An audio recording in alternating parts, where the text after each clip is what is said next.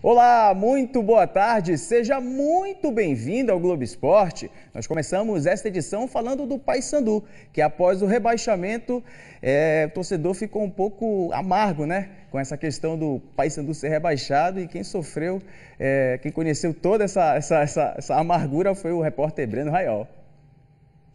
O torcedor do Remo começou a semana preocupado com o Paysandu. Ele queria deixar bem decorado o caixão do maior rival. Rapaz, morreu, o carro prata chegou no Mirante Barroso, deu cinco tiros nele, olha.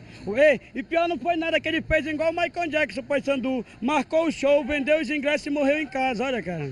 Realmente estava difícil encontrar bicolores. O final de semana foi terrível. A Curuzu estava lotada, mas ser goleado pelo Atlético Goianiense por 5 a 2 estava fora dos planos. Foi uma tragédia, tá entendendo? Um time como o Paysandu cair para a Série C Série C é time fraco, um monte de perna de pau, jogadores que nem estrearam, nem chegaram a jogar, só comendo e bebendo e dormindo, recebendo seu salário sem fazer nada. Quem apostou alguma coisa tinha que cumprir o prometido. O torcedor subiu no carrinho, entrou no caixão com a camisa do Paysandu e se fingiu de morto. Os amigos gemistas providenciaram a decoração com jambu, cebola, limão e tomate. Assim seguiu o cortejo e ele recebeu as homenagens. Joga na maré, joga na maré que tá perdendo de bola. Tô chorando.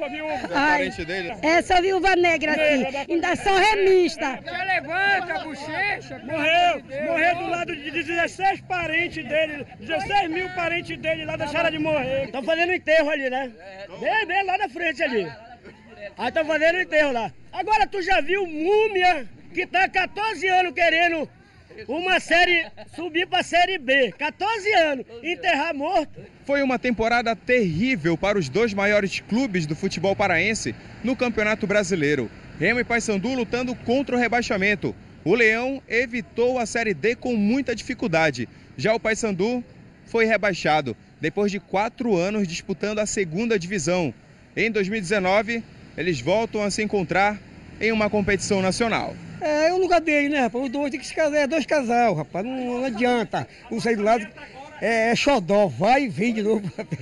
Amor antigo. Amor antigo, não tem jeito aí. Depois do rebaixamento do Papão para a Série C, a diretoria bicolor confirmou a permanência do técnico João Brigatti para a temporada 2019. Ontem nós perguntamos através do globesport.com/pa se o torcedor do Paysandu concordava ou não com essa decisão. Vamos ao resultado?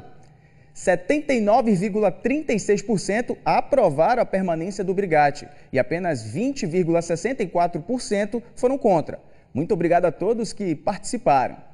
Aqui com a gente, Carlos Ferreira. Tudo Então, bem, Ferreira? Tudo. O que, que você achou aí da, dessa permanência do Brigatti? A torcida concordou. Eu vou falar sobre a permanência do Brigatti, mas eu preciso antes falar dessa reportagem da irreverência com os torcedores do Remo do Paysandu. É isso que mantém acesa a chama. Você vê uma temporada tão ruim em que o Remo eh, fugiu da Série D por pouco e o Paysandu acabou caindo para a Série C e, e isso rende essa festa toda. Essa irreverência, esse, eh, essa manifestação tão bem humorada, é, uma, é algo que alimenta essa rivalidade da melhor forma que deve ocorrer. Isso é a verdadeira rivalidade tocada dessa maneira. Né? Um- o fracasso do Paysandu sendo encarado pelos torcedores do Paysandu, levado na esportivos do Remo tirando sarro, seria a mesma coisa numa situação inversa. Tem que ter, É, né? é, as torcidas aqui, elas torcem, são felizes de qualquer jeito, né? Ou pelo que seu time faz de bom, ou pelo que o adversário faz de ruim. São torcidas que torcem por elas próprias. Então, você tem essa chama acesa sempre. E no caso do, do Paysandu, segue o, o João Brigatti.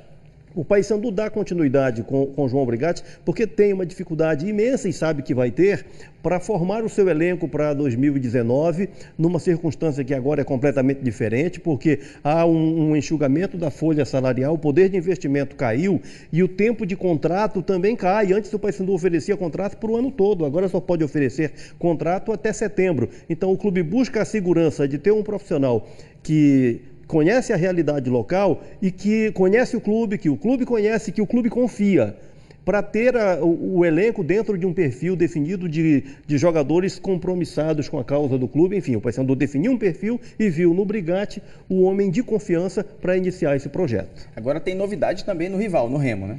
Pois é, o Remo tem novidade para valer, porque hoje pela manhã o clube anunciou duas contratações dos jogadores que o Remo pretende ter, dos 10 importados que o Remo pretende ter para 2019. O Giovani, de vermelho, vem do Globo do, do Rio Grande do Norte.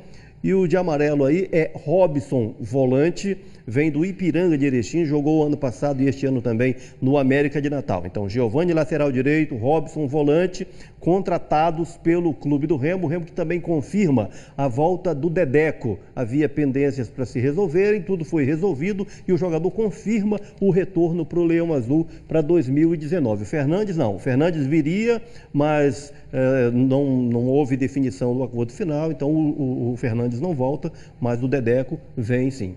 Ok. Muito obrigado, Ferreira, pelas informações. Okay. Agora o assunto é Parazão da Pelada. Uma reunião ontem definiu que haverá uma nova partida entre Flamenguinho do Jurunas e Botafogo do Atalaia. Será no dia 8 de dezembro. No último sábado, as duas equipes disputaram é, uma das semifinais e o jogo ficou em 1 a 1 no tempo normal. E a decisão foi para os pênaltis. Por falta de iluminação, as cobranças acabaram suspensas. Agora se prepare, você vai conhecer a história de um paraense, o Lucas, de apenas 13 anos, campeão de atletismo e motivo de orgulho para a Escola Estadual Barão de Rio Branco. O som da máquina de braille não chega nem perto do barulho que o dono dela tá fazendo. Alguém aqui conhece o Lucas? Sim!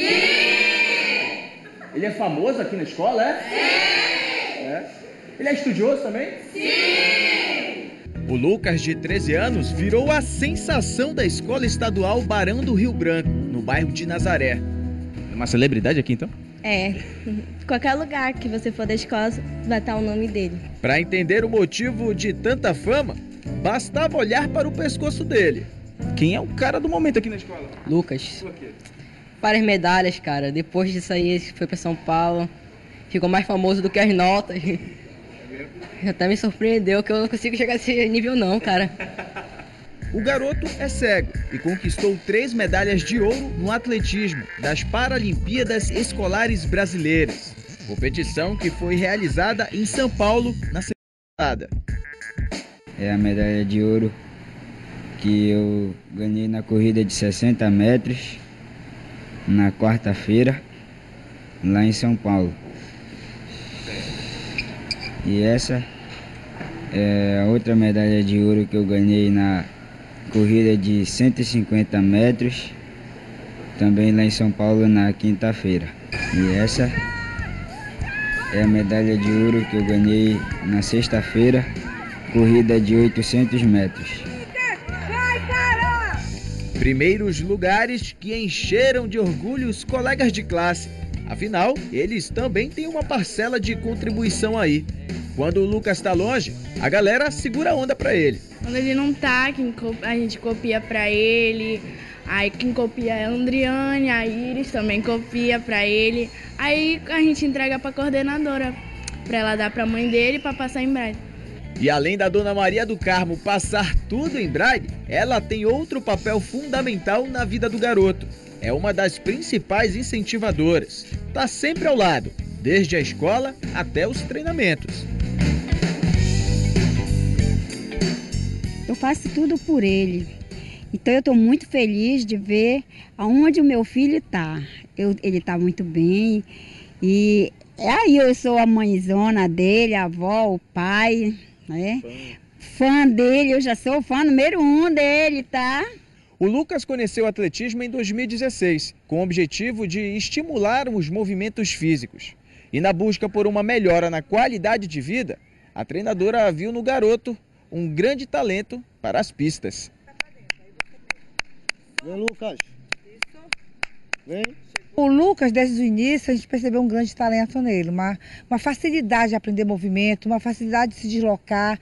E desde faz 2016 que ele começou a praticar, mas assim, espaçadamente. O ano passado a gente começou a fazer um trabalho que ele fez 12 anos, que é uma idade da maturação muscular, mas de aperfeiçoamento, que ele continuou esse ano e teve um excelente resultado lá no na Paralimpíada Escolar Brasileira, com muito orgulho para todos nós do Pará.